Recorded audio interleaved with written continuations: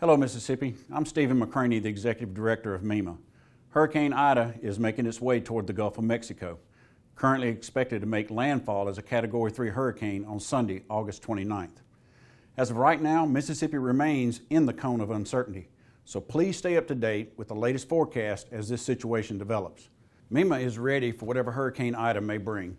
We are moving resources to our counties to help them respond, and shelters are on standby to be open. We've also brought in a FEMA IMAT team to assist us if needed. This event has the potential to impact a significant portion of the state, not just the coast. That's why all Mississippians need to be ready. Have your disaster kit filled with at least 72 hours worth of supplies. You need enough food and water and medical resources to get you through this storm. And don't forget your important documents. We will continue to keep you updated as this storm approaches. Prepare now and stay safe, Mississippi.